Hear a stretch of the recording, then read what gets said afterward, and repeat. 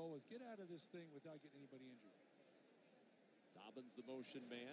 Haskins, a little jailbreak screen to Victor with flags down. Binjimen Victor breaking tackles